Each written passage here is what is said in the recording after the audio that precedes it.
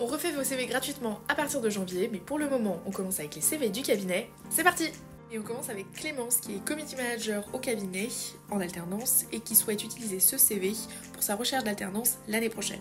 Bon, c'est un profil junior, mais il fait quand même un petit peu vide.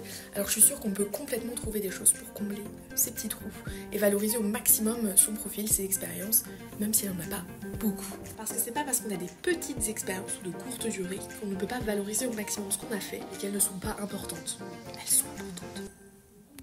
La partie formation qui sera théoriquement la plus complète. Ici on précise l'intitulé de ses cours et on détaille au maximum les projets réalisés, seul ou en équipe. Dans la partie expérience professionnelle, c'est pareil. On précise son intitulé de poste et on détaille au maximum ses projets, ses missions, etc. Et d'ailleurs on n'hésite pas à préciser ses succès avec des éléments chiffrés.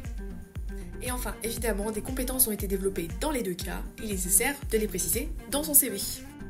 Voici le résultat, beaucoup plus complet, beaucoup plus précis, on vient réellement valoriser le profil de Clémence. Et si vous souhaitez qu'on analyse et qu'on refasse votre CV gratuitement, n'hésitez pas à vous inscrire à notre newsletter pour être tiré au sort. Voilà